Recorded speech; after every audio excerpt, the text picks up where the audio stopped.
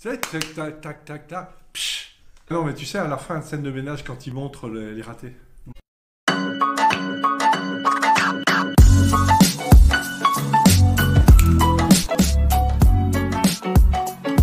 Gérald Dulac, 71 ans, bientôt 72, grand-père. Je suis arrivé en 1966 pour étudier, pour faire des études d'informatique. M'engage auprès d'Émilie pour améliorer la vie quotidienne, pour mobiliser des nouvelles ressources, pour préparer l'avenir, pour faire en sorte de trouver des solutions qui mobilisent. Et puis quelque chose de très important, je pense, c'est pour la sauvegarde du climat. Je crois qu'il faut apprendre à absorber plus de gaz à effet de serre dans le ciel que nous en produisons par nos activités sur la Terre.